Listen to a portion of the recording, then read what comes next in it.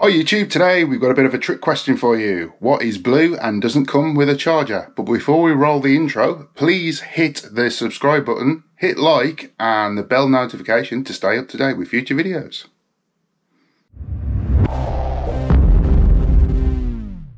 Okay, so have you guessed what it is yet?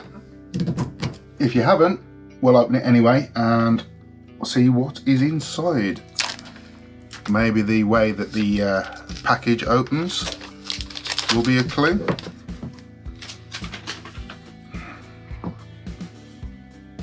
Are you ready? Yes, it's the new iPhone 12. And as reported, the phone does not come with a charger anymore. It does come with a lightning cable.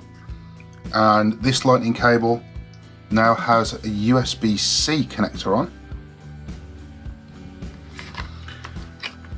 and of course it doesn't even come with any earpods like they used to as well. So all we have is a little booklet and the usual uh, pin key to put your SIM card in.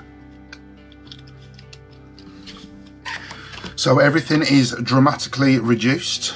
On the front of the phone we do have on the uh, peel off sticker now um, we have some white covering and that shows you that that is the uh, turn the ringer off switch, volume up, volume down and the power switch.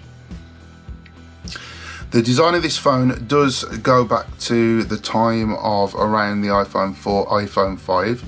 Uh, we now have more of a square edge to the phone instead of the more rounder one on the previous generation. Uh, we do have the triple lens design and the flash as well and on the bottom we still have a lightning connector although this phone will now support the new MagSafe charging so you can get a magnetic charging block which will essentially magnetically adhere to around where the Apple logo is. Okay, so that's pretty much it. That is the iPhone 12 in blue.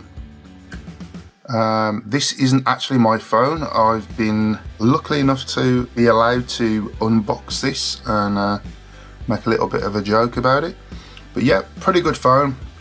I'm still happy with my 11 Pro Max for the moment and uh, probably will be for the next generation at the moment. It does everything I need it to do, but this does look very, very nice in blue. So if you want one, go get one. Check out the specs on Apple's website um, because I don't actually know anything about it. I've missed the last couple of keynotes due to my day job. Um, I haven't actually been here and I haven't really um, had the time to catch up and watch them back. Okay then, thank you very much. Until the next video, stay tuned, hit subscribe, hit like, and I'll see you all in the next one.